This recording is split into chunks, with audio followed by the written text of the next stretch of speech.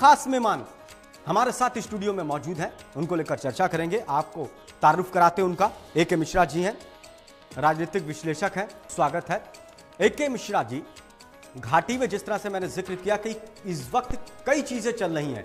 अलगाववादी नेताओं को हिरासत में लेना, बुरहान वानी का कल जो है बरसी होना, आतंकवादी गतिविधियाँ बढ़ना, इसको लेकर हालात काफ़ी ज़्यादा बिगड़ते जा रहे हैं वहाँ पर। आसिफ देखिए एक चीज़ मैं बता दूँ। मैंने एक बार पहले भी आपके इसी चैनल पे डिबेट हुआ था इसी इशू को लेकर के।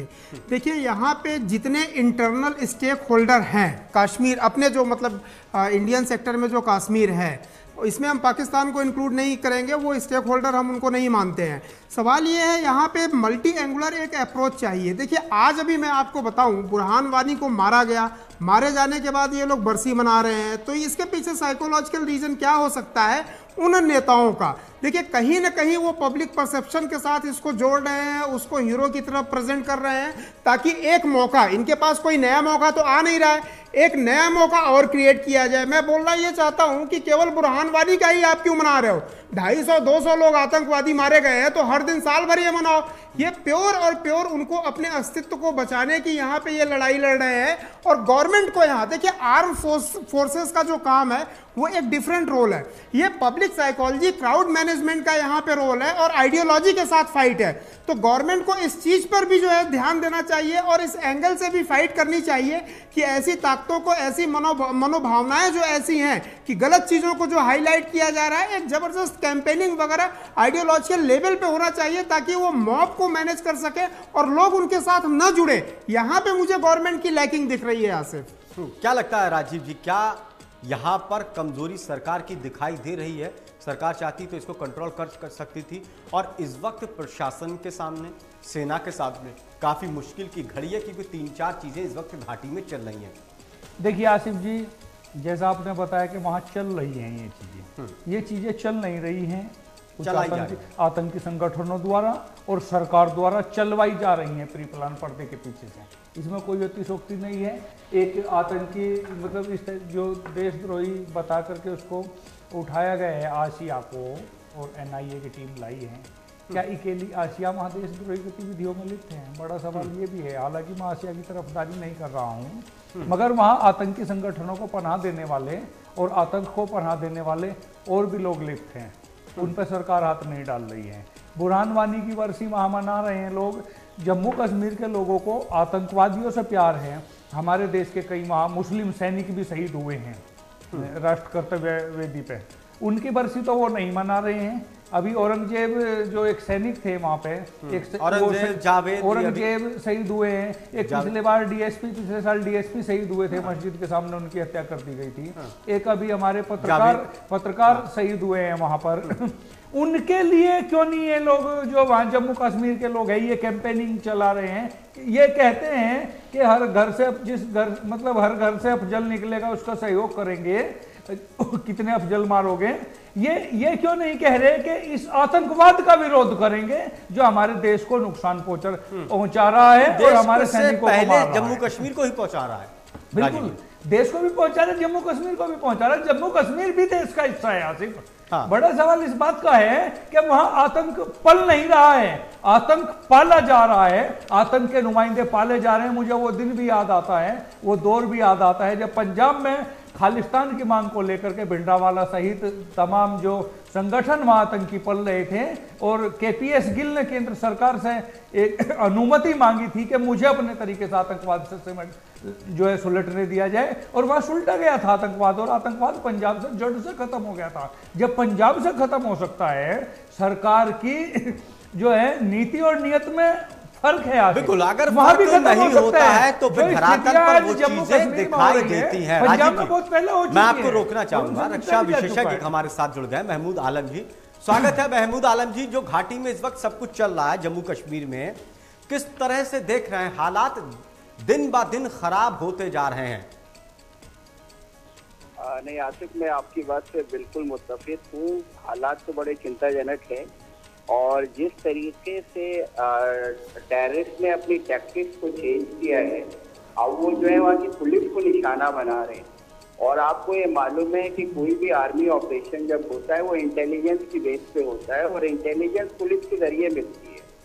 तो पुलिस को, का मनोबल जो है वो गिराना चाहते हैं और उसके अलावा दूसरी एक चीज़ और जो वहाँ पे नया डेवलपमेंट हुआ है, वो ये है कि देखिए पहले जो थी वहाँ पे आतंकवाद की भागदौड़ जो है फॉरेन टेररिस्ट के हाथ में थी। लेकिन एक जो बहुत यहाँ पे चेंज हुआ है वो बड़ा चिंताजनक चेंज है कि अब वहाँ के जो जवान हैं वो जो है आतंकवाद की तरफ़ जा रहे हैं और वो मिलिटेंसी को ज़्यादा से ज़्यादा जो है ज्वाइन कर रहे हैं। तो देखिए आसिफ यहाँ पे आपको देखना पड़ेगा लेकिन महमूद आलम जी महमूद आलम जी जम्मू कश्मीर के जवान सेना में भी भर्ती हो रहे हैं। नहीं नहीं वो बिल्कुल हो रहे हैं। मैं आपकी बात मान रहा हूँ। आज भी सेना में भी अब आतंकवादियों से पुलिस में लड़ भी हो रहे हैं। अब पुलिस में भी हो रहे हैं लेकिन आज आप वहाँ पे ये देखिए जो एक डर और खौफ का माहौल बैठ गया है वहाँ पे और मेरा ये मानना है कि पॉलिटिकल वैक्यूम वहाँ पे पैदा हो गया जो इवन जो वहाँ के रिप्रेजेंटेटिव है जो इलेक्टेड रिप्रेजेंटेटिव है वो भी आवाम में नहीं जा पा रहे हैं और एक बिल्कुल डेडलॉक हो गया है। तो इसको बहुत जल्दी हम इस डेडलॉक को और जो एक पॉलिटिकल वैक्यूम हो गया है, इसको बहुत जल्दी जो है हमें पुर करना पड़ेगा, वरना आने वाले दिन और जो है खतरनाक हो सकते हैं। बिल्कुल। बहुत बहुत शुक्रिया हमसे बातचीत करने के लिए। ललन प्रसाद जी, जिस तरह से महमूद आलम जी कह रहे थे कि राजनीतिक गतिविधियाँ कुछ इस तरह से चली, कुछ हालात इस तरह से वहाँ पर बन गए, जिसका असर सुरक्षा को लेकर वहाँ पर पड़ रहा है। लेकिन अब जो है उस दिशा में काम हो रहा है। अलगाववादी नेता जो माहौल खराब करने की कोशिश कर रहे हैं उनको हिरासत में लिया जा रहा है। क्या सिर्फ़ बुरहान वानी की बरसी को लेकर हिरासत में लिया जा रहा है या लंबे तौर पर इस तरह की कार्रवाई भी हो सकती है लल्लन जी? देखिए कार्रवाई तो लंबे तौर पर भी होनी है लेकिन इस समय तो इमीडिएट प्रॉब्लम है जैसे कल की प्रॉब्लम है। तो ऐसी हालत में गवर्नमेंट को बहुत सख्ती के साथ इस इस सिचुएशन को संभालना है। क्योंकि वहाँ आम जनता एक तो आतंकवादियों और अलगाववादियों से डरी हुई है। और उस डर के कारण अ, लोग बहुत से लोग अधिकांश लोग कश्मीर के ऐसे हैं जो भारत के साथ हैं। लेकिन जो भी लोग अ, हमारा साथ इस समय नहीं दे रहे हैं वहाँ पर या सेना का साथ या पुलिस का साथ नहीं दे रहे हैं अधिकांश लोग डरे हुए हैं।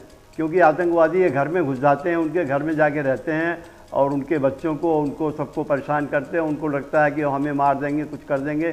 क्योंकि जितने केसेस हुए हैं देखिए अधिकांश ऐसा हुआ है कि हाँ। घरों में ही जाके घुसे हैं और फिर पुलिस को और फिर हमारी मिलिट्री को उनको घरों से निकालना पड़ा है और गोलियाँ चलानी पड़ी हैं और ग्रेनेड चलाने पड़े हैं और इस स्थिति है।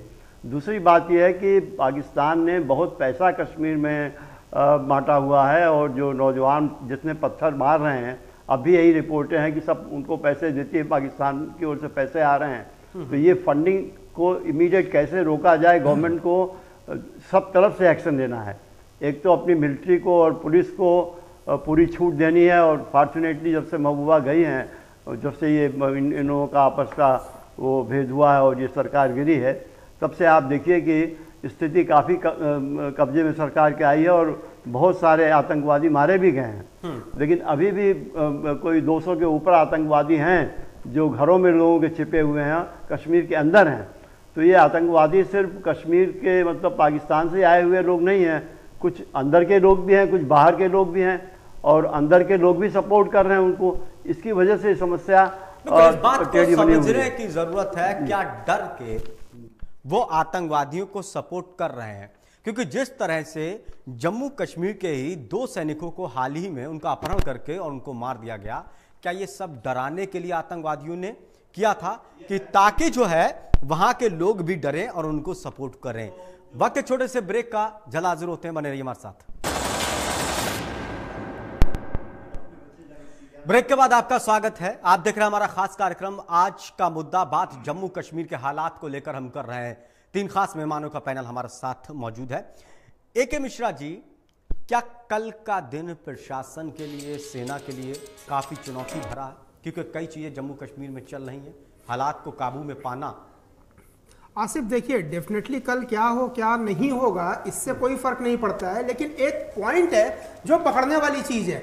आप ये देखिए, अगर कल ये लोग कर रहे हैं या इन्होंने ये घोषणा की है तो आप ये समझ जाइए कि अलगाववादी तत्वों के इरादे क्या हैं। हाँ। उन्होंने इस चीज़ को एज ए हीरो बना के सेलिब्रेट करने का जो है एक नई प्रथा की इन्होंने शुरुआत की है। और अगर इस पे गवर्नमेंट ने सख्ती से काम नहीं लिया मैंने आपको बोला मल्टी एंगुलर मल्टी एंगुलर में आपके जो सुरक्षा बल है वो अपना काम कर रहे हैं। देखिए चार पाँच तरीके से हमको इसको मैनेज करना पड़ेगा। केवल एक तरीका सफिशियंट नहीं होता है। यहाँ पे ये जो है, आप ये देखिए, ये एक साइकोसोमेटिक वार है, जहाँ पे मॉब या क्राउड की जो एक बिहेवियर होता है, जो साइकोलॉजी होता है, उसको मैनेज करने के लिए ये चीज़ होता है। कल अगर वो सक्सेस हो भी गए तो एक ये आगे के लिए एक बहुत बड़ा ये माइल ये लोग बना लेंगे कि देखो जी, अब हम एक हफ़्ते बाद फिर किसी और का करेंगे, पच्चीस दिन के बाद फिर करेंगे। ये उनको एक बहाना मिल जाएगा पूरे घाटी को डिस्टर्ब करने का और चुनौती देने के लिए जो है भारतीय सेनाओं को और भारत की सरकार को तो मैं ये समझता हूँ कि इनका केवल डिक्लेरेशन ही गवर्नमेंट ऑफ़ इंडिया को बहुत संजीदा तरीके से लेना चाहिए और इस चीज़ को नेस्तनाबूद करने के लिए, विफल करने के लिए केवल ये नहीं कि आप आर्मी या सीआरपीएफ फोर्सेस वगैरह लगा दे, धारा 144 लगा दे। इस वक्त सबसे ज़रूरी है किसी एक्सपर्ट को बैठा करके जो मॉब की साइकोलॉजी होती है, क्यों लोगों को ये चीज़ें मतलब कौन ऐसे लोग हैं जो शाह दे रहे हैं, किन आइडियोलॉजी पे लोगों को शाह दे रहे हैं? सोचने वाली बात ये है, देखिए सबसे ज़्यादा डिस्टर्ब वहाँ पे आप देखेंगे तो कश्मीर, वो वैली ही है। वैली इतना डिस्टर्ब है, क्यों सैकड़ों लोग? भले ही वो, ठीक है, लाखों में नहीं है मतलब पूरी वहाँ वैली के सारे लोग नहीं है, लेकिन सौ, दो सौ, पाँच सौ, हज़ार, दो हज़ार जो भी हैं, जो मुट्ठी भर हैं, इन लोगों को आइडेंटिफाई किया जाए। और आइडेंटिफिकेशन के लिए बहुत सारी टेक्नोलॉजी अवेलेबल है कैमरा रिकॉर्डिंग वगैरह सारी चीज़ें हैं। आसिफ सबसे बड़ी ज़रूरत है ना कि दो ग्रुप में वहाँ के लोगों को आइडेंटिफाई किया जाए मॉप को। एक वो जो एंटी हैं और ऐसे एक्टिविटी में भाग लेते हैं। उनकी ब्रेन वॉशिंग की जाए, उनको कैसे भी साइकोलॉजिकल ट्रीटमेंट दे के समझा के अगर वो हिंसक गतिविधियों में लिप्त होते हैं तो वो हिंसक तरीके से यहाँ पे यहाँ पे सेना को भी रिवर्ट करना पड़ेगा उसी तरीके से। लेकिन जो ऐसे हैं, जो शांति प्रिय हैं, लेकिन किसी बलवे में आके, किसी बहकावे में आकर के ये मोटिवेट होके पार्टिसिपेट कर रहे हैं उन लोगों को ब्रेन वॉश करके उन लोगों को मोटिवेट करके समझा करके रास्ते पे लाया जाए। तो एक तरीके से एक ये मॉब और क्राउड की जो साइकोलॉजी होती है उसको समझते देखो सरकार को हर दिशा में वहाँ पर काम करना पड़ेगा और सख्ती से भी काम करना पड़ेगा और नरमी से भी वहाँ पेश आना पड़ेगा। इस तब जाकर हालात वहाँ पर काबू में लल्लन प्रसाद जी। जिस तरह से अलगाववादी नेताओं ने ऐलान कर दिया कि कल जो है जम्मू कश्मीर बंद रहेगा। सारे लोग सहयोग करें। एक रैली निकालें एक आतंकवादी की मौत की बरसी को लेकर सब कुछ हो रहा है। क्या सरकार को समझ में नहीं आना चाहिए कि ये नेताओं का मकसद क्या है? अब आप उनको हिरासत में ले रहे हैं नज़रबंद कर रहे हैं। ये बात तो आपको काफ़ी पहले समझ में आ जाना चाहिए थी। जो कार्रवाई आज आप कर रहे हो ये अगर चार साल पहले कर चुके होते अगर आप तो हालात को काबू में कर लेते। लेकिन क्या तो- राजनीतिक यहाँ मजबूरी है जो सख्ती से काम नहीं ले रही सरकारें? आसिफ जी आपने बिल्कुल ठीक बात कही कि सरकार ने समय गंवा दिया। जो तीन साल सरकार ने गंवाए हैं इसमें। देखिए जब ये महबूबा के साथ उन्होंने अपनी पार्टनरशिप शुरू की तभी महबूबा के साथ इनको ये शर्त रखनी चाहिए थी कि जो अलगाववादी नेता हैं कश्मीर के या जो आतंकवादी आतंकवादियों का साथ देते हैं उनका सरकार साथ नहीं देगी। अगर इस शर्त पर उन्होंने सरकार बनाया होता तो आज शायद स्थिति ही दूसरी होती। वहाँ तो ये जैसे अभी बात हुई कि पॉलिटिकल अभी जो बात कर रहे थे कि पॉलिटिकल वैक्यूम हो गया है। तो ये पॉलिटिकल वैक्यूम को ख़त्म करने के लिए तो इन्होंने पार्टनरशिप की थी महबूब के साथ। और वो पॉलिटिकल वैक्यूम की जगह दूसरा ही कुछ हो गया। स्थिति इनके हाथ से बाहर निकलती गई। और सेना को इन्होंने सेना के हाथ बाँध दिए और सेना को इन्होंने काम नहीं करने दिया। अब वो स्थिति आ गई है कि जब ये समझ रहे हैं कि सेना को और कश्मीर की पुलिस को फ्री हैंड जब तक नहीं देंगे, तब तक ये स्थिति नहीं सुधरेगी। और देखिए जो हमारे जनरल हैं रावत साहब ये बहुत दिन पहले से ही कह रहे हैं इस बात को कि हमें आप फ्रीडम दीजिए वहाँ पर एक्टिव होने के लिए। और ये रमज़ान का महीना एक महीना जो चला गया था उसमें देखिए सारी एक्टिविटीज़ जो इस समय अब सरकार दबाव में आ गई है। हमारे साथ एक रक्षा विशेषज्ञ सरकार जुड़ चुके हैं। स्वागत है पीएम हुन जी जम्मू कश्मीर में जो सब कुछ चल रहा है अलगाववादी नेताओं की गिरफ्तारी बुरानी के कल बरसी इसके अलावा वहाँ पर रैली कई जगह कर्फ्यू लगना किस तरह से इन हालातों को आप देख रहे हैं? कैसे काबू में होंगे ये? ये तो काबू में है ही नहीं। हम्म। ये काबू में तब आएँगे जबकि हमें कोई एक्चुअल करना पड़े। और मैं आपको बताता हूँ मैं उधर था मैं कोर कमांडर था। हम्म। और यही बात हो रही थी कि भाई उन उन दिनों में मुफ्ती सी बाकी थे सब थे और ये चल रही थी बात कि भाई अब कैसे करेंगे इधर रहेंगे उधर रहेंगे। तो मैंने तो बोल दिया इनको मैंने कहा देखो ये अगर आप लोग जाना चाहते हैं तो मैं आपको दो दिन का खाना दूँगा और टोली दस बारह बीस आदमी की आपको क्रॉस करा दूँगा और जाइए आप पाकिस्तान। जी। और वो कामयाबी हुआ। कि वो गए और चले गए। अच्छा दूसरी बात मैंने क्या किया वो सर कि जो हमारी लड़कियाँ हैं बच्चे हैं उनको पढ़ाई भी तो कराना है ना? जी, तो जी। और उस, उस वक्त इतना ग- गलत काम कर रहे थे कि अभी भी नहीं कर रहे। मैंने तो बोला था कि जो हमारी कश्मीरी बहनें हैं या लड़कियाँ हैं उनको हम इंडिया में भेज देते हैं। वो एक ही बात है।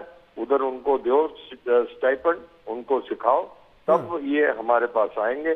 आपको अब पता है कि इन्होंने पत्थर मारने शुरू हो गए हैं। और ये बच्चों को पत्थर तोड़ना सिखाने के लिए ये सेंट्रल इंडिया में भेजा हुआ है इनको।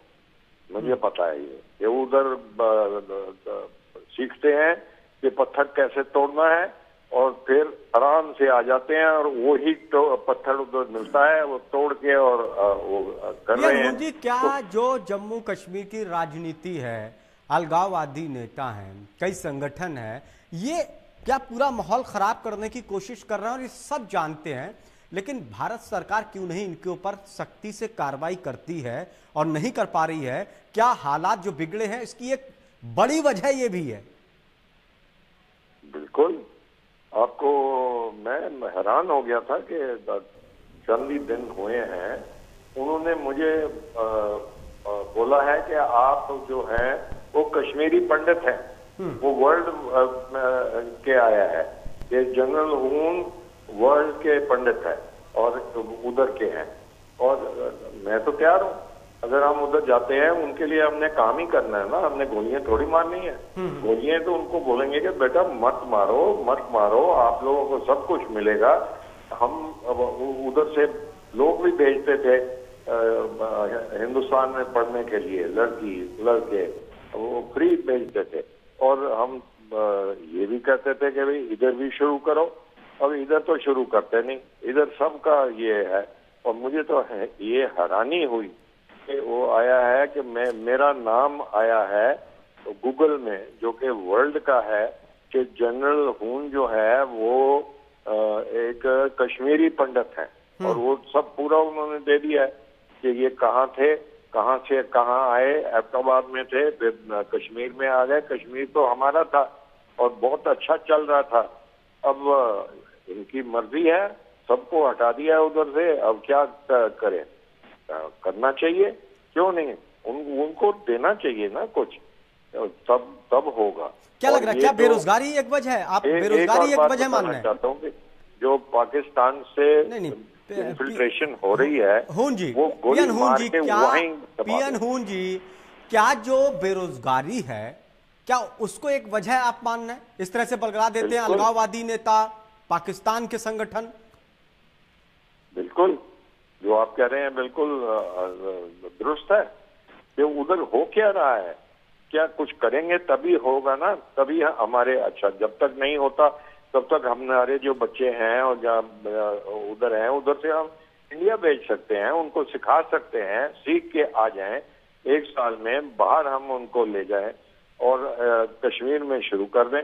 और कश्मीर में जो हो रहा है ये पाकिस्तान की एक बड़ी अ, अ, साजिश है पूरी तरह से और उसी के चलते ये सब कुछ हो रहा है। और पाकिस्तान की नीतियों का उसकी जो नियत है नीति है उसका साथ जम्मू कश्मीर के अलगाववादी नेता दे रहे हैं। बहुत बहुत शुक्रिया पीएन हून जी।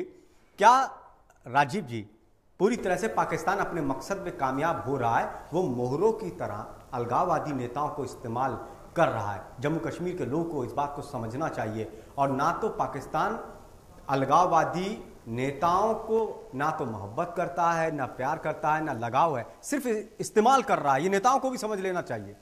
देखिए आसिफ जी, पाकिस्तान अपने मंसूबों में जो कामयाब हो रहा है, वो अकेला कामयाब नहीं हो रहा है। उसको हमारे देश की सरकार कामयाब होने दे रही है। ये बड़ी कड़वी बात है, मगर सत्य है। अभी हम कुछ दिन पहले की बात करें, करीब पंद्रह बीस दिन पहले की बात करें। जिस देश के गृह मंत्री खुले मन से ये कहते हों कि जो आतंकी और पत्थरबाज, जो सेना पे सैनिकों पे पत्थर मार रहे हैं और उनकी हत्या तक कर रहे हैं, वो नादान बच्चे हैं, उन पर लगे मुकदमों को भी वापस किया जाएगा। क्या ये आतंक को बढ़ावा देना नहीं है? क्या ये ये टेररिज्म को बढ़ावा देना नहीं है? आप गृह मंत्री हैं, आप उनसे हमदर्दी भी रख रहे हैं बच्चों से कि वो नादान हैं। आप तमाम सरकारी सुरक्षा छोड़ करके और आपके दो बेटे हैं। उनको साथ लेकर के वहाँ जाइए, कश्मीर में और उन नादान बच्चों से मिलिए। बात करिए, आपको पता लग जाएगा वो बच्चे नादान हैं या शैतान हैं। उन बच्चों को नादान कैसे कहा जा सकता है जो देश की आर्मी पर अटैक करने की हिम्मत जुटा रहे हैं? जो सुरक्षा व्यवस्था को चैलेंज कर रहे हैं, जो देश की सरकार को चैलेंज कर रहे हैं। जो पूरी व्यवस्था को पूरे देश की गवर्नमेंट को चैलेंज कर रहे हैं और कुछ चुनिंदा लोग हैं वो हम्म। जो आतंक के शेल्टर में पड़ रहे हैं लेकिन लोकसभा और देश की राजनीति मैं आप ही की बात को आगे बढ़ा रहा हूँ। मैं आप ही की बात को आगे बढ़ा रहा हूँ। लोकसभा चुनाव में जिस तरह से कहा था बीजेपी ने कि हम सख्ती से काम करेंगे छप्पन इंच का सीना होना चाहिए। अब छप्पन इंच का सीना आ, कह रहा है कि जो लोग पत्थरबाजी कर रहे हैं उनके मुकदमे वही मैं कह रहा हूँ जब आप छोटे छोटे पत्थरबाजों को नहीं रोक पा रहे हैं। और आप हाँ। बात कर रहे हैं कि पाकिस्तान और चीन की सेना को मुंहतोड़ जवाब देंगे। आपसे ये तो रुक नहीं रहे हैं। ऐतिहासिक दो चीज़ होती हैं। एक शक्ति एक इच्छा शक्ति एक दृढ़ इच्छा शक्ति। सरकार में दृढ़ इच्छा शक्ति की कमी है। जिस दिन दृढ़ इच्छा शक्ति से ठान लेंगे ये पत्थरबाज तो कुछ भी नहीं है। बड़े बड़े आतंकी या तो मारे गए या फांसी चढ़ा दिए गए। मगर बड़ा सवाल इस बात का है कि सरकार के पास जिस दिन इन आतंकियों पर कार्रवाई कर देगी राजनीतिक मुद्दा नहीं बचेगा। चुनाव आ रहे हैं सरकार को देशभक्ति भी दिखानी है लोगों से वोट भी बटोरनी है और यह भी दिखाना है कि हम जवान और देश के लिए कितने सेंसिटिव हैं कितने गंभीर हैं। मगर ऐसा है नहीं। ये सिर्फ़ मात्र दिखावा है। तो मेरी बात हाँ। अगर क्या अकेली आशियाई आतंकवादी सेल्टर और देशद्रोहियों की गतिविधियों में लिप्त थी? बाकी लोगों को क्यों नहीं उठाया गया? यासीन मलिक को क्यों नहीं उठाया गया? हाँ। जितनी आतंकी वहाँ सरगना है उनको क्यों नहीं उठाया गया? यही, यही सवाल उन पे आखिर मेहरबानी क्यों? ए के मिश्रा जी यही सवाल है कि आप पहले से अगर कार्रवाई करते आपको सब कुछ मालूम है। इनको राजनीतिक हालात है। सबसे ज़्यादा हालात खराब कितने दिन दूध राजीव जी फिर से आऊँगा। राजीव जी फिर से आऊँगा आपके पास। जो राजनीतिक हालात जो अलगाववादी नेता हैं जो राजनीतिक हालात वहाँ पर हैं वही सबसे ज़्यादा बलगला रहे हैं वहाँ के बच्चों को। रहे हैं वो उन्हीं के ऊपर कार्रवाई होना चाहिए लेकिन जड़ पर कार्रवाई कहाँ कर रही है सरकार? आसिफ देखिए मैं अभी दूसरे रक्षा विशेषज्ञ जो हून साहब है मैं उनको सुन रहा था बात बेरोजगारी भी की भी चली थी। हाँ। देखिए अगर दो फैक्टर को देखा जाए तो मैं सत्तर साल आज़ादी के बाद से मैं लेता हूँ। मैं बोलता हूँ कि जब पॉलिटिकल वैक्यूम वहाँ पे नहीं था उस टाइम पे जब सरकारें थी कोई एक सरकार थी कांग्रेस की थी, तब क्या इस तरीके के बवाल वहाँ पे नहीं होते थे? तब भी होते थे।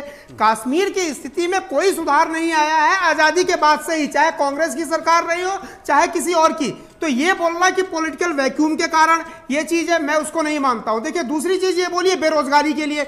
मैं उसको भी नहीं मानता हूँ, मैं वहाँ गया हूँ। आप देखिए, बिहार का एक आदमी जिसके पास नौकरी नहीं होती है वो 1400 किलोमीटर दूर रोज़गार पाने के लिए चला जाता है। कश्मीर के लड़के जो हैं वो उनकी फैमिली वाले खुद उनको बाहर भारत में किसी ने उनको रोज़गार देने से मना किया हुआ है। कई बार आप देखते हैं कि अगल बगल के गलियों में शॉल बेचते हुए लोग मिलते हैं। सवाल यह है वो खुद उन्होंने अपने आप को कंटेंट करके वहाँ पे रखा हुआ है। गवर्नमेंट ऑफ़ इंडिया की बहुत सारी फैसिलिटी उनको जाती रहती है खाने पीने के लिए मिलता रहता है। कश्मीर में इतना बड़ा टूरिज़्म था इतना रोज़गार था कि कुछ पूछने वाली बात नहीं है। उसको खत्म किसने किया? उसको खत्म किया वहाँ के नेताओं ने। कुछ ऐसे नेता हैं जिन लोगों ने इन चीज़ों को शह दी, उसमें आकर के वहाँ के जो लोकल लोग हैं वॉर जहाँ पे होगी क्राइसिस वहाँ पे होगी। अफ़गानिस्तान में यही हुआ। आप देख लीजिए अफ़गानिस्तान बर्बाद हो गया सीरिया बर्बाद हो गया।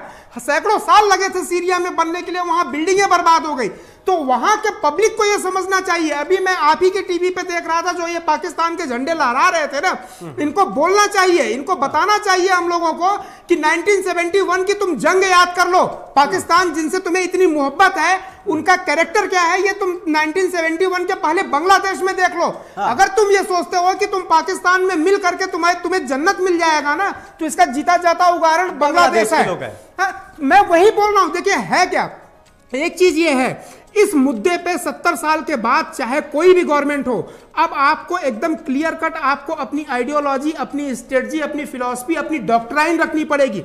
डॉक्ट्राइन ये रखनी पड़ेगी कि आप सेपरेट करिए।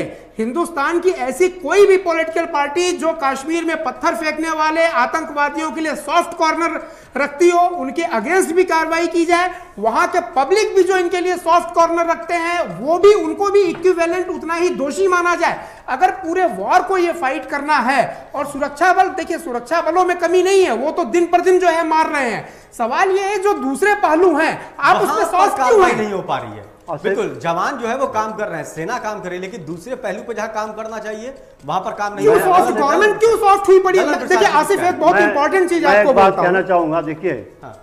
मोदी साहब ने भी प्रॉमिस किया था कि 370 धारा हटा देंगे। हाँ। और बड़े बड़े व्यापक तौर से बचाने में कामयाब रहा। था। अगर इन्होंने थोड़ा भी स्टेप लिया होता हाँ। और अभी भी टाइम है देखिए ये तो बहुत राइप है इस वक्त मैं समझता हूँ कि it's the best time to abolish article चीज़ क्योंकि इस समय कश्मीर कश्मीर इज़ बर्निंग और जो कुछ होना है अभी होना है। अगर इस समय वो आर्टिकल थ्री सेवेंटी के बारिश कर दें तो क्या हो गया? महीने बीस दिन और होगा उत्पाद जो भी इन्हें करना होगा नहीं नहीं सत्तर साल से हो रहा है सत्तर साल और हो जाएगा हम तैयार हैं। बिल्कुल जो ये दस बीस दिन महीने भर और होना और हो जाएगा। इसके बाद ये सारा मामला ही खत्म हो जाएगा। अच्छा जहाँ तक ये जो बात लोग कह रहे हैं कश्मीर के नौजवान बेरोजगार हैं तो ये बेरोजगार किस बेरोजगारी किसने वहाँ को क्रिएट की है? खुद हालात तो, तो, फ्री में बैठ के तो- खाने की तो- आदत पड़ी है। ये तो उन लोगों ने खुद ही की हुई है। सारा देश चाहता है कि कश्मीर में जाकर घूमें और सैर करें और छुट्टियाँ मनाएँ और कितनी आमदनी कश्मीर के लोगों को हो लेकिन जब वहाँ के लोग ही इसके लिए तैयार नहीं है और वहाँ के लोग अब डरे बैठे हुए हैं तो हम क्या कर सकते हैं? देखिए सरकार में सर, सरकार कोई भी फ़िल्म बिना कश्मीर के बनती नहीं थी इतना रोज़गार था। कोई योजना वहाँ चल ही नहीं सकती क्योंकि जो नेता वहाँ के हैं वो ये नहीं चाहते। और जो डेवलपमेंट हो। पाकिस्तान पाकिस्तान का इतना बड़ा श्रय उन लोगों को मिला हुआ है ये जो यासीन मलिक और ये जो वहाँ लोग बैठे हुए हैं इनको भारत सरकार भी पैसे देती रही है। भारत सरकार सुरक्षा दे रही है। तो अगर आप ही इनको पाल रहे हो और 370 आर्टिकल आप बारिश नहीं कर रहे हो तो कश्मीर की समस्या आप क्या हल करोगे? नहीं आप अपनी डॉक्ट्राइन क्लियर करिए ना। दोनों तरफ़ रह के आप सॉल्व नहीं कर सकते। स्थिति बनी हुई है और वो स्थिति और खराब होती जा रही है जो धारा 370 बचाने वाले लोग थे उन्हीं के साथ आपने सरकार बना ली। बिल्कुल। तो आप कैसे खत्म करेंगे? क्योंकि मुफ्ती ने कहा कि हमारा मकसद था कि धारा 370 को बचाना। और हमने छूने तक नहीं दिया बीजेपी को। हाँ। तो आप कैसे अपने मकसद में कामयाब होंगे? आप उन्हीं लोगों के जब साथ ये जो इन्होंने महबूबा के साथ साठगांठ करके सरकार बनाई और जो आर्टिकल थ्री सेवेंटी वाली बात को स्टे कर दिया ये बहुत बड़ी गलती इनकी थी। और अगर अभी भी मौका है इनको और वैसे भी चुनाव आ रहा है अगर इस समय आर्टिकल थ्री सेवेंटी बारिश कर दें तो इनके लिए चुनाव में भी बहुत बड़ा मददगार होगा सरकार के लिए। और अगर ये नहीं करेंगे और कश्मीर की स्थिति नहीं समझी तो इनके लिए ये दो का चुनाव बहुत ही महँगा पड़ेगा, आप देखेंगे। कश्मीर एक बहुत बड़ा मुद्दा इस समय देश में हो रहा है, क्योंकि सारा देश देख रहा है कि रोज़ कुछ न कुछ हो रहा है। और रोज़ कुछ लोग मर रहे हैं, अपने देश के अपने सैनिक मर रहे हैं पुलिस वाले वहाँ के मर रहे हैं लोकल लोग मर रहे हैं, और सरकार एक्टिव नहीं हो पा रही है उस तरह जितनी सरकार को एक्टिव होनी चाहिए थी और जितनी जनता इनसे उम्मीद करती थी हम्म। तो मैं तो ये कहूँगा कि आर्टिकल थ्री सेवेंटी को बारिश करने का सबसे अच्छा समय इस समय भारत सरकार के पास है लेकिन राजीव जी क्या इतना वक्त है कि आप हालातों को कंट्रोल में कर लेंगे ये देखिए आसिफ जी नहीं है इनकी आसिफ जी वक्त तो बहुत हैं और मैं आपको बताऊँ जिस देश में अगर इच्छा शक्ति हो हाँ। पूरे देश की करेंसी चेंज की जा सकती है हाँ। वहाँ भारत तीन सौ इतना बड़ा लोकतंत्र इतनी बड़ी सेना सारे संसाधन हमारे उसके पास। उसके बाद आसिफ जी मैं एक चीज़ पर आपका ध्यान आकर्षित कराना चाहूँगा। मैं 2009-10 में उत्तर प्रदेश लेकर चल रहा हूँ आपको। जब बीएसपी की गवर्नमेंट थी वहाँ मायावती और बाबरी मस्जिद और राम मंदिर का फैसला आना था। उत्तर प्रदेश बहुत बड़ा राज्य है। और इनपुट ये मिल रहे थे कि कुछ भी हो सकता। बाद में वाली स्थिति भी हो सकती है। बड़े दंगे भी फैल सकते। हैं वो प्लानिंग थी उत्तर प्रदेश की मुख्यमंत्री मायावती की। इतनी सुरक्षा व्यवस्था की इतना सब कुछ किया इतनी चाक चौबंद व्यवस्था की कि एक पत्ता तक नहीं हिला और पूरे प्रदेश में कहीं कोई भी घटना की अप्रिय घटना की कहीं से कोई सूचना नहीं जब इतने बड़े प्रदेश में जिसको अराजक प्रदेश कहा जा सकता है अराजक प्रदेश कहते हैं जब वहाँ ये हालात सुधारे जा सकते हैं तो वहाँ क्यों नहीं सुधारे जा सकते? सरकार मैंने अभी भी कहा है इच्छा शक्ति और दृढ़ इच्छा शक्ति दृढ़ इच्छा शक्ति नहीं है। दूसरी बात अभी कह रहे थे उन साहब के वहाँ बेरोजगारी। तो पाकिस्तान से वहाँ तैयार करके उधर से यहाँ भेजे फ्री में पैसे आ रहे हैं? फ्री में पैसे आ रहे हैं। गवर्नमेंट ऑफ़ इंडिया दे रही है। नहीं आ रहे हैं। पैसे इंडियन गवर्नमेंट भी दे रही है। उनके साथ बैठकें कर रही हैं। जिस देश की सरकार को किसानों को पास किसानों के साथ बैठक करने का समय नहीं है किसानों की बात सुनने का समय नहीं है वो आतंकियों के साथ बड़े बड़े फाइव स्टार होटलों में बैठक कर रही हैं। और अंदाता कहे जाने वाले किसानों पर गोलियाँ चलवा रही हैं और आतंकियों को सुरक्षा दे रही हैं। तीसरी बात आसिफ अकबर लोन नामक विधायक जम्मू कश्मीर विधानसभा में पाकिस्तान जिंदाबाद और हिंदुस्तान मुर्दाबाद के नारे लगाता है और देश की सरकार उस पर देशद्रोह लगा के जेल नहीं भेजती। क्या यह नहीं माना जाएगा कि सरकार का सॉफ्ट कॉर्नर है और सरकार आतंक को बढ़ावा दे रही है? आप बताइए। मगर मगर ये सरकार देशभक्त हैं जो सवाल पूछेंगे पत्रकार या हाँ। जो भी लोग पूछेंगे रक्षा विशेषज्ञ हाँ। वो देशद्रोही माने जाएँगे सरकार हाँ। जो ये कहे वो ठीक है कल तक महबूबा मुफ्ती जो आतंकियों को पाल रही थी जो बुरहान वानी के परिजनों को पहुँचा दे रही थी वो इनके साथ सरकार में थी तो वो देशभक्त थी आज वो देशद्रोह है आज ये महबूबा मुफ्ती को बीजेपी सरकार और नरेंद्र मोदी जी और अमित शाह जी और केंद्रीय गृह मंत्री कैसे देशद्रोही कहेंगे देखिए जो अगर कल बेईमान था आज वो ईमानदार नहीं हो सकता। एक कहावत है चोर चोरी से चला जाएगा हेरा फेरी से नहीं जा सकता। अगर वो कल देशद्रोही थे तो आज भी देशद्रोही है कल भी देशद्रोही रहेंगे। आपकी क्या मजबूरी थी उनके साथ सरकार बनाने की? महबूबा मुफ्ती ने तो कह दिया कि मैं तो धारा तीन सौ सत्तर बताने के लिए समर्थन की हुई थी। आप क्या जनता को जवाब देंगे? आपने कितने सेना के जवान शहीद करवा दिए? क्या सिर्फ़ इसीलिए कि कुर्सी बचा के रखें? क्या फ़र्क रह गया?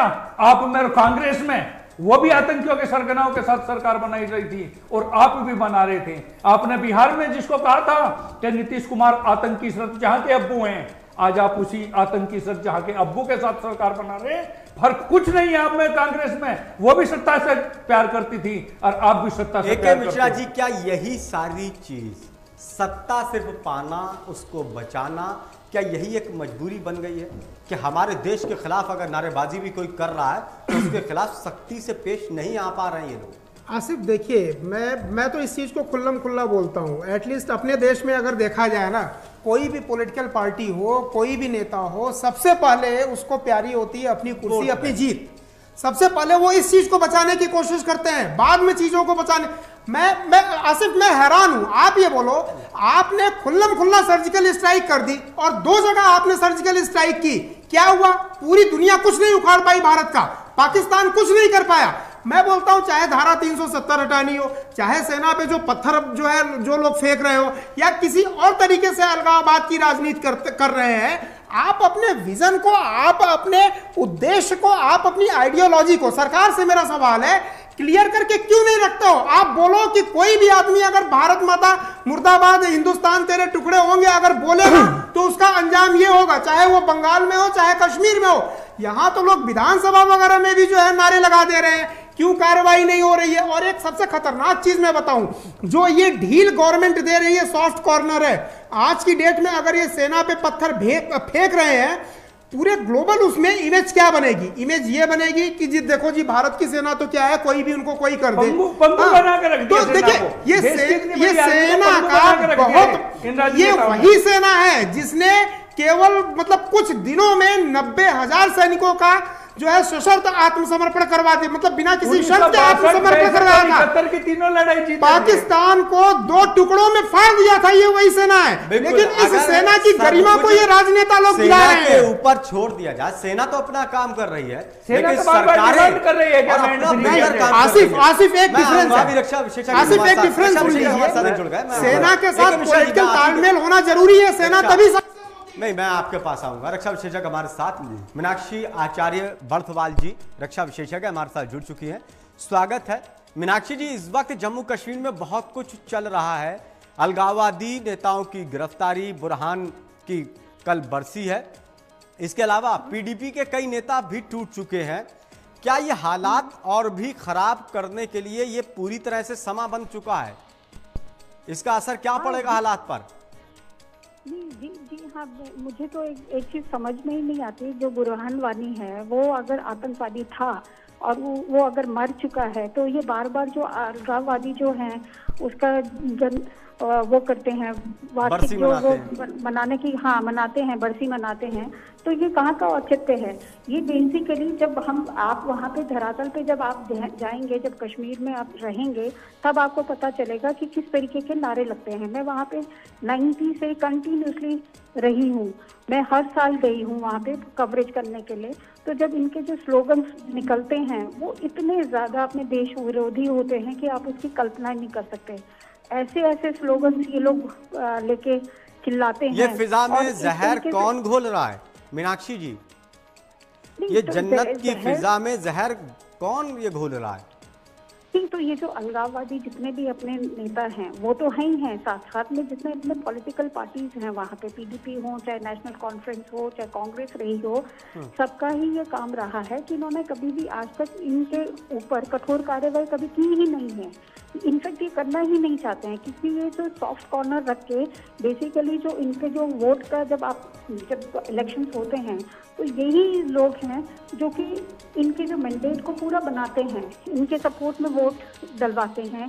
तो ये इनको यूज़ करते हैं और ये उनको यूज़ करते हैं। दोनों तरफ़ से ये गिव एंड टेक वाली पॉलिसी है कि आप हमें कुछ मत कहिए और जब इलेक्शन होंगे तो आप हमारा सपोर्ट कीजिए। तो ये जो है क्योंकि ये तो देश विरोधी इन आतंकवादियों को तो मानते ही नहीं है। ये देश विरोधी मानते हैं सेना को मानते हैं सिक्योरिटी फोर्सेस को देश विरोधी मानते हैं या जो देश की बात करना चाहे उनको देश विरोधी मानते हैं। तो इस तरीके की ये जान की ये जनाजे का जो बरसी है इस तरीके से आतंकवादियों को जो शहादत इनके नाम पे जो कहते और इन सबका मीनाक्षी जी इन सबका असर जो है वहाँ के माहौल के ऊपर पड़ता है। माहौल के ऊपर पड़ता है और जो छोटे छोटे जो बच्चे रहते हैं हाँ। उनकी जो साइकी है वो उसी तरीके से डेवलप होती है। वो इतना इसको हीरोइज्म की तरफ़ उसको बनाते हैं कि ये तो हमारे जैसे हीरो हैं। जब हम 90 में गई थी मैं वहाँ पे तो जितने भी आतंकवादी कश्मीर पा, पाक ऑक्यूपाइड कश्मीर से जब ट्रेनिंग लेके आते थे तो उनके जश्न मनाए जाते थे। उनके लिए बड़ी बड़ी दावतें की जाती थी। और यहाँ तक उनके लिए ये बोला जाता था कि आपको जो भी हमारी जो आ, कोई भी हम सुविधा चाहिए तो परिवार की तरफ़ से हम देंगे। तो इस तरीके से माहौल क्रिएट किया जाता है इनको हीरो बनाया जाता है। इनको ये इस तरीके से पेश किया जाता है कि ये हमारे जबकि मीनाक्षी जी कश्मीर के सबसे ज़्यादा दुश्मन यही लोग हैं। इन्हीं की वजह से कश्मीर पिछड़ गया। इन्हीं की वजह से जन्नत जो है वो दोजक बनकर रह गई है। मैं मैं मैं वही कहना चाहती हूँ। 90 में इन्हो, इन्होंने अपने जो हैं हिंदू जितने भी थे उनके अगेंस्ट पूरा माहौल बनाया। आज ये सिक्योरिटी फोर्सेस के अगेंस्ट माहौल बना रहे हैं। ये तो चाहते ही नहीं है कि वहाँ पे अमन शांति हो क्योंकि अमन शांति रहेगी तो जो इनका जो एजेंडा है वो किस तरीके से फले फूलेगा। जो इनके पास में जो बाहर से फाइनेंसेस आते हैं अलग अलग ऑर्गेनाइजेशन बिल्कुल जम्मू कश्मीर के लोगों को इस बात को समझना चाहिए कि अलगाववादी नेता ये सिर्फ़ अपने लालच की वजह से पैसे बनाने के लिए ये वहाँ से जो हाँ, पाकिस्तान हाँ। से मोटा पैसा आ रहा है उसको कमाने के लिए और उन पैसों का फ़ायदा अपने बच्चों को दे रहे हैं विदेशों में रह रहे हैं पूरी सुख सुविधा वो पा रहे हैं वो किसका पैसा है? वो दूसरे देश का ही पैसा है और दूसरे के बच्चों के भविष्य और ज़िंदगी खतरे में डाल रहे हैं। मीनाक्षी जी बहुत बहुत शुक्रिया। ललन प्रसाद जी आप कुछ कहना चाह रहे हैं? साथ में मेरा एक सवाल भी है। मैं क्या अलगाववादी जो नेता हैं क्या ये जो है इनको प्यार मोहब्बत नहीं है? सिर्फ़ पा, पाकिस्तान से जो पैसा आ रहा है उस पैसे को ले रहे हैं और अपनी ज़िंदगी के मज़े ले रहे हैं। उनके बच्चे ऐशो आराम विदेशों में कर रहे हैं। क्या यही उनका एक मकसद है? जम्मू कश्मीर के लोग को इस बात को समझ लेना चाहिए। लालन प्रसाद जी। हाँ, देखिए ये तो बात साफ़ ज़ाहिर है। जो यासीन मलिक है और ये सब जितने अलगाव वाले नेता हैं सबके बच्चे कहीं ऑक्सफोर्ड में पढ़ रहे हैं कहीं ऑस्ट्रेलिया में पढ़ रहे हैं कहीं वो पैसा कहाँ से आ रहा है? वहीं से आ रहा है। पैसा तो वहीं से आ रहा है पैसा। अच्छा कश्मीर की तो स्थिति देखिए हमेशा से ऐसी रही है और जब सत्तर साल से यही हम यही देख रहे हैं कि जो अलगाव नेता हैं इनको भारत सरकार ही प्रश्रय देती रही है और ये जैसे अभी कहा गया ना कि चुनाव का समय आता है तो इनसे समझौते हो जाते हैं और इस तरह की चीज़ें होती रही ये तो गलती हमारी है तो जब तक हम बहुत कड़ा स्टेप नहीं लेंगे और वो समय आ गया कि हम वो स्टेप लें। और दो तीन बातें देखिए, मैं आपसे और भी कहना चाहूँगा कि जैसे कश्मीरी पंडित निकाले गए इस पर। उसके बाद जितनी पार्टियाँ थी इनकी कांग्रेस की सरकार बनी और फिर बीजेपी की सरकार बनी सबने प्रॉमिस किया कि हम पंडितों को वहाँ बसा देंगे। आज तक एक पंडित वहाँ नहीं बसाया गया। और और जो ज़मीन वहाँ पर सरकार प्रोक्योर करना भी चाहती थी वो वहाँ की लोकल सरकार ने मना कर दिया। और अब तक ये स्थिति है कि बेचारे पंडित शरणार्थी बने हुए हैं और भारत के दूसरे दूसरे कोनों में सब जगह अपने घर द्वार लेकर और अपनी ज़िंदगी बसर कर रहे हैं।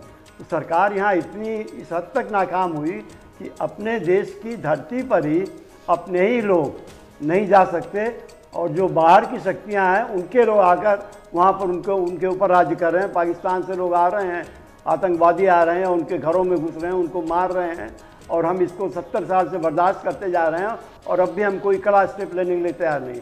तो मैं समझता हूँ कि समय आ गया कि जब सेना को खुली छूट देनी चाहिए और ये बात सेना को बता देनी चाहिए कि कश्मीर को हम भारत का अभिन्न अंग सिर्फ़ बात में नहीं बल्कि वास्तविकता में कर रहे हैं मैं और इसके लिए जी जो आपको कानूनी माफ़ी के कार्रवाई साथ है, माफ़ी के साथ की रोकूँगा और देखिए 35 की लल्लन जी सबको आप कह रहे हैं कि सेना को पूरी तरह से छूट दे देना चाहिए। बिल्कुल। लेकिन सेना तो लगातार आतंकवादियों को मार ही रही है। सेना के अलावा जो हमारी बाकी संस्थाएँ हैं वो भी बेहतर काम करें।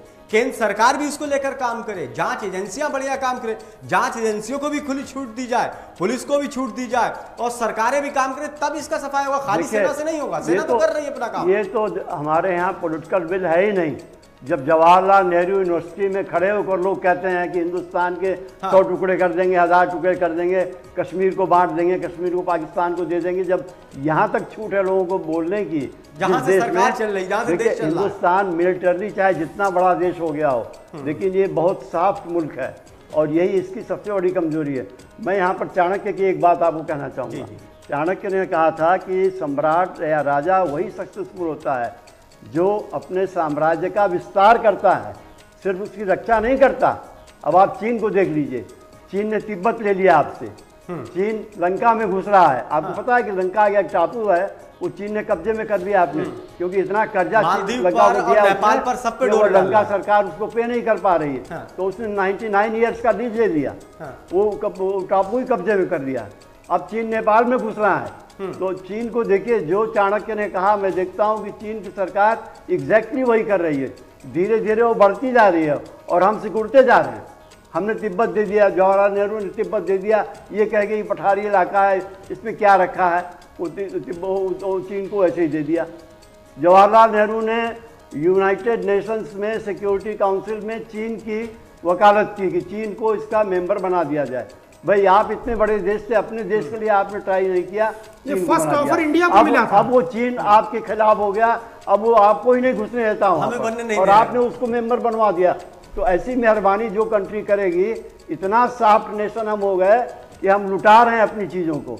और, और चीज़ें बढ़ाने की जगह की भी कोई संपत्ति बढ़ाने की जगह हम अपनी संपत्ति दूसरों को दे रहे दूसरों हैं को दे रहे हैं। एक मिश्रा जी, बर्दाश्त की भी कोई हद हद होती है। जिस तरह से हमारे विश्वविद्यालय में, हमारे देश के खिलाफ ही, जहाँ से हमारी सरकारें चल रही हैं, जहाँ से देश की राजधानी है, वहाँ पर इस तरह के नारे लग रहे हैं।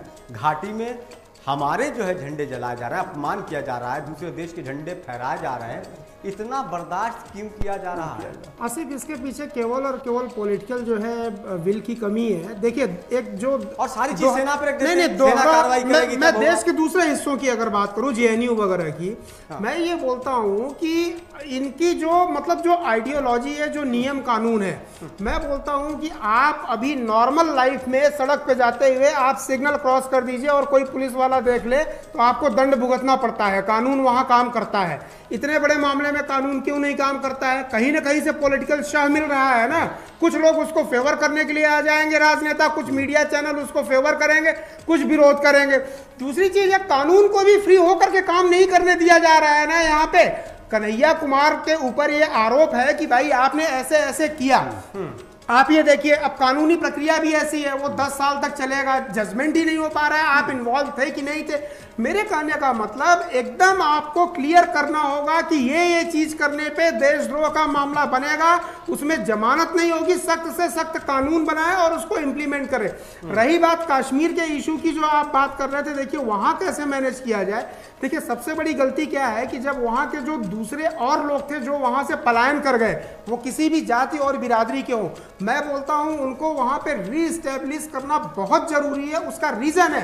क्योंकि जब तक, देखिए, अब 100 परसेंट पॉपुलेशन अगर उसमें पॉपुलेशन वहाँ की ओरिजिनल नहीं आएगी, अगर कुछ एडिशनल पॉपुलेशन आ गई तो डेफिनेटली वो लोग उसका विरोध करेंगे। तो टेररिज्म के लिए एक नेचुरल जो है, वहाँ की पॉपुलेशन ही उनके अगेंस्ट खड़ी होगी।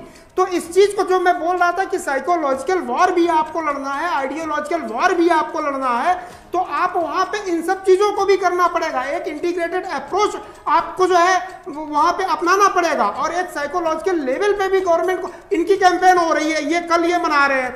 तो क्यों नहीं उस कैंपेन को फेल करने के लिए आप जो है अभी मैं टीवी पे भी देख रहा था कुछ लोग ऐसे बैठे हुए थे जो कि इसको फेवर कर रहे थे। अरे मैं बोलता हूँ आप किस जो लोग डायरेक्ट या इनडायरेक्ट वे में जिनको बड़ी मोहब्बत है आज़ादी की या इन सब चीज़ों की अगर इतनी मोहब्बत है आज़ादी की तो जरा इतिहास उठा के देखो ना बांग्लादेश ने क्यों आज़ादी ले ली?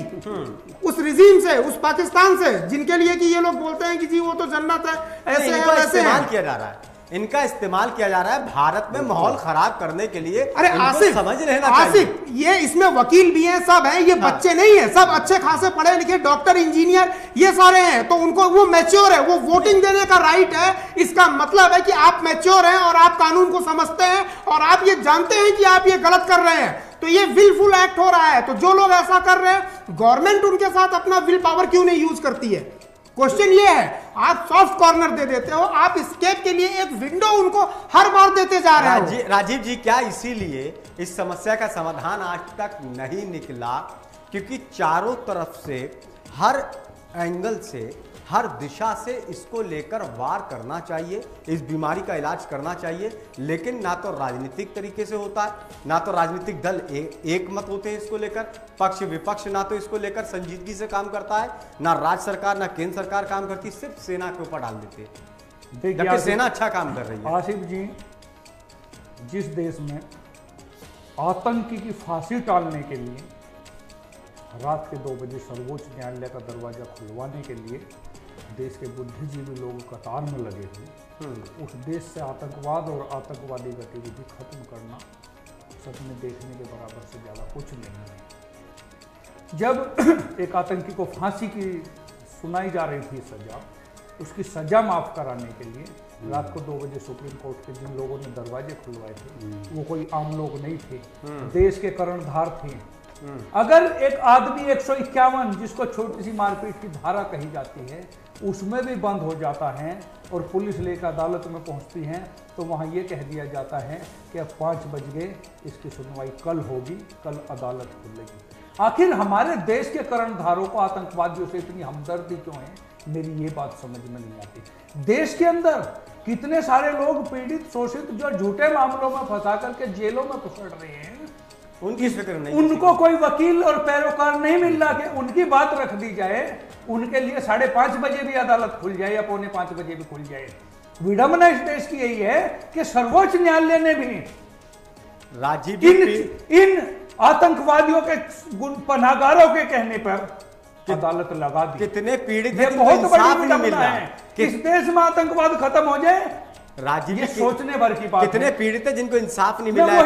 हूँ नहीं होती उनकी। छोटे छोटे मामलों में उनको वकील नहीं होती। अदालतें स्वतः संज्ञान नहीं ले रही और एक आतंकवादी की फांसी टालने के बात लिए को देश की मीडिया की- देश की मीडिया के बड़े बड़े मीडिया हाउस के नंबरदार बड़े बड़े वकील बड़े बड़े नेता आतंकवाद की फांसी आतंकवादी की फांसी टालने की पैरोकारी कर रहे सभी को क्या किसी ने छोटे छोटे सौ सौ पचास रुपए के जुर्माने ना पे कर पाने के कारण जो लोग कई कई साल जेलों में सड़ रहे हैं क्या उनकी सुध लेने की फ़िक्र की है? बिल्कुल इस बात को समझने की ज़रूरत आतंकवादियों की चिंता है। देश के आपको कर्मधारियों को आतंकवाद की चिंता है। बहुत ज़्यादा किसान की कमी है। सेना के जवान की चिंता नहीं है। सभी मेहमानों का लेकिन इस बात को समझना चाहिए कि हर समस्या का समाधान सेना ही नहीं कर सकती है। सेना अपना काम कर रही है बेहतर अपना काम कर रही है, अंजाम उसको दे रही है, लेकिन राज्य सरकार, केंद्र सरकार और प्रशासनिक अमले को भी अपना काम बखूबी करना होगा, ईमानदारी के साथ, और उन लोगों के खिलाफ सख्त कार्रवाई करना होगी जो माहौल खराब करने की कोशिश कर रहे हैं। खास कार्यक्रम में इतना ही, ताज़ा तरीन खबरों के लिए देखते रहिए टीवी हंड्रेड नमस्कार।